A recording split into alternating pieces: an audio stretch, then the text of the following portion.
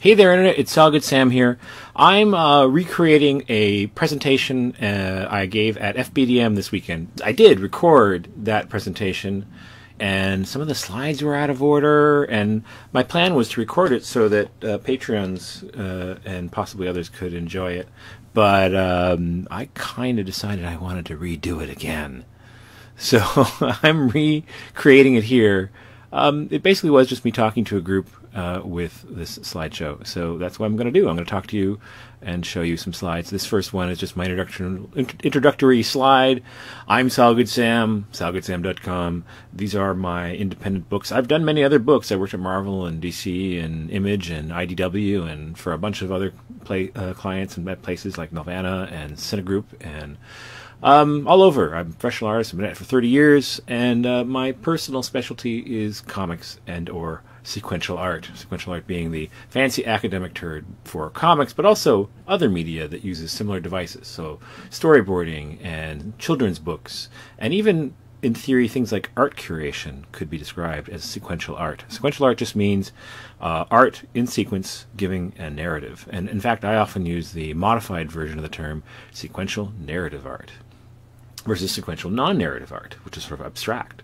So, what I'm going to talk about in this discussion are the mechanics of sequential art and how to build narrative and how uh, juxtaposition, closure, page flow, all those things work. The title of the talk is Snakes and Ladders and Closure and the Mechanics of Sequential Art. Uh, just a few credits here. Uh, I teach class at Syn Studio downtown Montreal called Making Comics with Salgood Sam. And uh, this uh, audio and some of my tutoring is also available via Patreon. Uh, when I have images and uh, some of the things that I reference in this, uh, some of it uh, I generated the images myself, but there are images that I borrowed from Scott McCloud's Understanding Comics and Making Comics, and from Jessica Abel and Matt Madden's Drawing with Words and Writing with Pictures. Uh, both of them should be duly credited. I will mention them when uh, we're looking at their work. They also are responsible for some of the lists that I'm presenting, and I've made my own modifications and everything, but credit where credit's due. You should go get those books if you want to learn about making comics. They are indispensable. Uh, I particularly recommend Drawing with Words and Writing with Pictures as a great starting point for any young person interested in making comics, or old person for that matter. Just anyone new to the medium. Uh, making comics and understanding comics are also excellent. They're really intense and uh, uh quite get into the nitty gritty of fine details. Um, and then also, uh, Jessica Abel Matt Madden had a follow up book uh, uh, which I don't remember the title of just right now. I believe it's uh, Mastering Comics. That's what it was. Um, uh, that goes follows up to drawing with words and writing with pictures. Also excellent. Um, so let's get on with it. So one of the core mechanisms of sequential art is juxtaposition, which basically means putting two things together to create uh, a relationship between them, and in the case of comics, a third idea. So anytime you put words and pictures together, that creates juxtaposition. When there's transitions between panels, that creates juxtaposition. I believe Scott McCloud coined the term closure to describe what happens in the moments between two things that create juxtaposition. So he was usually talking about uh, what happens in the gutters between panels in a comic. But I think the idea is that sort of anything that sort of bookends an idea creates a moment of closure. So for as an example, I've got this drawing of an apple that I did here. It's a fairly realistic apple. It's obviously not a picture of an apple, a photo of an apple. It's a representation of an apple. So it's fairly literal. It's not the apple or a particular apple. It's a drawing of an apple. That makes it already a bit of an idea. Uh, it's not abstracted, but it's actually a little more abstracted than a photograph. It's representational. Um, an apple has cultural connotations. In the West, some of the ideas that might come to mind are food, knowledge, temptation, New York. One a day keeps the doctor away, or gravity. Uh, there are some people who might think of those things right away when they see this sketchy, somewhat realistic drawing of an apple, but because it's a semi realistic apple, probably they didn't jump to mind. Mostly you probably looked at it and said, oh, it's an apple. But if I put the words that I just mentioned below the apple, now I'm creating a moment of juxtaposition between a picture and a set of words or a single word. And that bookends an idea or creates what I would call a moment of closure as Scott McCloud described it, uh, between, in this case, words or a word and a picture. It's fairly effective. Uh, even though none of these images strongly, iconically represents any of these ideas, they all reference something that, if you are aware of the cultural uh, connotations, will immediately come to mind. So here we have a bunch of different apples. It's actually one drawing of another apple, but cartoonily. So it's a cartoon of an apple. Um, the cartoon factor distances us from that literal representation of an apple. It's no longer so specific. It is now a symbol of an apple, an icon. And so we are moving more towards the abstraction of an idea. And that's one of the jobs that cartooning in comics often does. You can do very realistic comics uh, but one of the powers of cartooning, so the reason why, for example, Charlie Brown is so effective as a very simple cartoon is he's the idea of a kid, not a particular kid. He's got a strong personality in the sense that we're all familiar with who Charlie Brown is, but he's really kind of an avatar for a persona, a personality. Uh, he can be related to easily. There's an argument that because he's so simply drawn that people can, can project themselves onto him. I'm not entirely sure about that, but I think we can definitely project onto him our idea about who he is. Not so much that we would put him on as a mask, but for certain, uh, he is not so defined and so specific that he feels like a specific other person. He feels like an avatar for a set of ideas. And so when you play with cartooning, you are juxtaposing words and pictures, but you're abstracting the picture just enough that you're opening up even more possibilities for the connotations. So now, notice that I've handwritten all of these pieces of text. They're a lot like comics lettering. It's basically my comics lettering is what we're looking at. And one of the reasons I recommend comics lettering, why you generally see either handwritten comics lettering or fonts that look like handwriting, is that they have a similar kind of uh, difference in reading from, say, a font, say Times New Roman or Helvetica. You could use those in lettering a comic, but the reality is that they are a little impersonal and kind of cold and mechanical, and they don't have any warmth. And a hand drawn drawing tends to have more warmth than if you've got this weird cold lettering with a, a real warm uh, uh, drawing. It it doesn't settle as well. The juxtaposition is sort of jarring. It doesn't work as well. So hand lettering is frequently used to create a more sympathetic relationship between the image and the word. Um, it blends with the art on the page a lot better than a really cold font. And in the end, even the, those fonts that do a really good job of simulating hand lettering, yeah, if you if you really put them right next to a handwritten lettering, so actual handwriting uh, uh, or handwritten comics lettering isn't actually a font; it's it's lettering. Uh, that sometimes it's hard to tell those really good fonts apart, and they'll even make a point of having alternate versions of the letters so they don't totally rep- replicate when there's multiple T's, like in Temptation, or two P's in Apple. You can have two different P's, uh, but still they have a sort of mechanical perfection about them and uh, a sameness. And so a lot of times, even when, with my own hand lettering, I kind of avoid when I'm doing by hand, being too perfect and uptight about it, I like that even extra bit of organicness. I go, I lean the other way. Uh, but sort of the whole point of those uh, faux hand lettered looking fonts is to maintain that warmth. But what happens when we switch to uh, what's called a display font, something more iconic, something more a little logo like? So now we're starting to move towards what is recognized as a logo. So we have that iconic uh, symbolic version of an apple and now we have a font that in itself itself helps embody some of the ideas that we're referencing. So there's the sciency version of gravity, and the Helvetica notion of apple, and temptation written in a biblical font, and, a, and a, versus the more again sciency looking, futuristic looking uh, knowledge. One a day in a kind of doctor scrawl cartoony font, not an apple in a, a cursive script. Uh, New York in a it kind of looks like a typewriter font. Kind of has that New York, New York feel. So this is where we're moving towards increasing iconography. Uh, it becomes increasingly symbolic. Even the text is is is harkening to a symbolic or uh, uh, a subtext in its presentation as a as a display font. And we can finish that journey by looking at the things I'm referencing. So, uh, icon for the Apple logo, biblical reference of uh, the snake offering an apple, Newton getting hit in the head with an apple, a, do- a teacher being hand- offered an apple, Magritte's This Is Not an Apple painting. Uh, reference to the Treachery of Images series that he did. Uh, I love New York, and of course, eat an apple and keep the doctor away? Probably not really, but it's a healthy practice.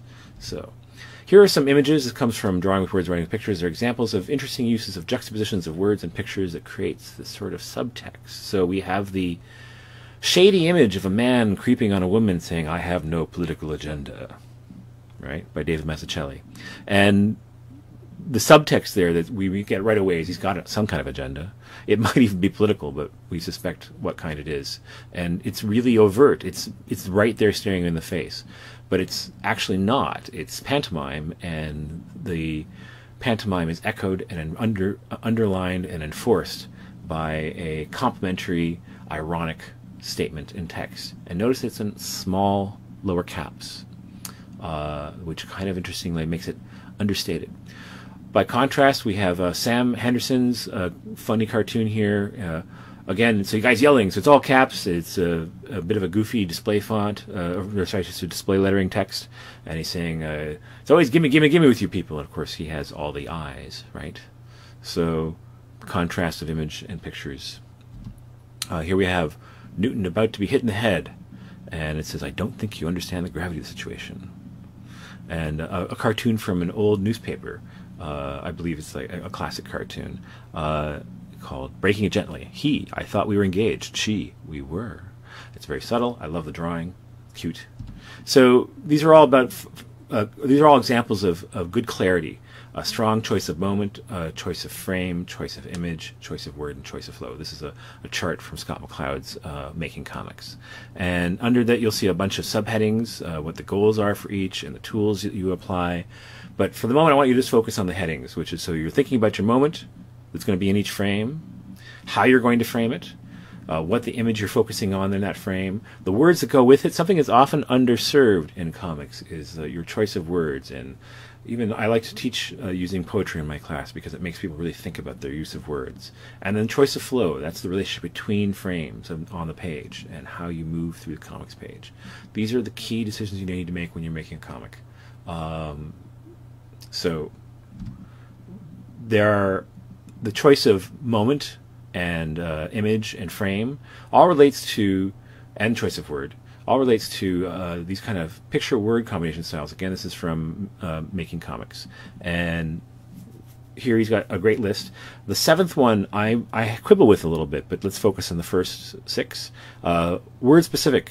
Uh, so we have a relationship between the words and the picture that are uh, complementary, and some of the words reflect what we're seeing. Miranda gave me the keys and smiled, and we see a, a very friendly smile. There's a lot of subtext and connotations there. We could read it a few ways. Uh, there's certainly sort of a, a, double entendre implication of someone like flirting. Maybe it's hotel keys. It could just be a friendly coworker giving the keys. It can be read a few ways, but it, it definitely suggests a, a friendly, familiar relationship. And the words are echoing what we see and drawing focus on what are the the important parts of the words. So we don't see her hand putting keys in, in the person's hand. We just see the smile. And that sort of suggests where the focus is. So it's word specific, but with a particular focus being drawn. Uh, picture specific, we have two moments uh, a moment of closure between a before and after. He's swinging and he's done it. He hit the ball.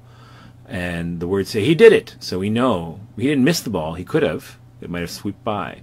But the he did it emphasizes the outcome. It tells us how to interpret these pictures. So that's picture specific. Uh, duo specific is a funny one, and I like to point it out as something that people usually do at the beginning of making comics. It's the least nuanced comics with words and pictures, though, because it's sort of didactic and self-repetitive. So he jabbed his finger. Ah, I jabbed my finger at you, as the guy jabs his finger at us. Everything is repeating everything else. It's it's doubling down and tripling down on the same message. Uh, you can do this. It tends to be kind of more effective as a humorous, over-the-top thing, or if you really need to emphasize something intensely. Uh, otherwise it's not the most subtle way to tell do things with words and pictures. Uh, it's one of those moments where having somebody say something that isn't I jab my finger at you, but what they're accusing them of, and jabbing the finger is all you need. And then if you really needed to get a caption, it should be something about you know how you felt about this person losing their losing it on you. Intersecting words and pictures. And now this is getting a little more subtle by contrast. How do you like my new threads, baby? And then his new threads are really tacky. He's got dollar signs and looks like a paisley pattern happening. And he's a bit of a slick guy with a pencil mustache. So words and pictures working together in some respects while also contributing information independently. The, they both bring in different ideas, and those different ideas clash and suggest new ideas again. Uh, all the previous ones we looked at, the picture specific, we're pretty much seeing what's happening and we're being clearly directed how to interpret it. Word specific, there are some connotations but you're basically being shown where the emphasis is in the words. And duo specific is pretty pretty literal. Intersecting is where you start getting into juxtaposition within the panel that's really subtle and actually opens up new ideas. So we're we're what's implied here is subtext about who's speaking and what they're like. Uh, interdependent words and pictures combining to convey an idea that neither would convey alone. So the woman says, I'm so happy with you. But in the picture, she's holding her neck, she's crying, and she's talking on the phone. So we know some things that are just implied here without being said. The person she's talking to can't see her. Uh, we could infer that she is attempting to be sincere, and so I'm so happy for you might be n- intended to be read as genuine, but in fact we can see that she's not happy right? It could be tears of joy, but those that facial expression doesn't look like joy, so it looks like distress. And so we have subtext and backstory and drama layered in through the pantomime and the, the words offsetting against each other. They both tell conflicting stories, and the end result is an idea that's not explicit; it's implied and subtext. Now, even more subtextual and kind of abstract, even, are parallel Number six here is parallel. Words and pictures following seemingly different paths without intersecting. But they will, because that's the way juxtaposition works. The readers will imply, not imply, infer in your head, in their heads, that something is happening there. There's a story. So don't forget the dog food, somebody said some quotation marks in a caption box. while we look at a picture of someone on a horse by the pyramids at night. So did they get lost? What happened? You start asking questions and you will write a story in your head. You might be not sure what it is, but you're being invited to kind of write a story and, and imagine something.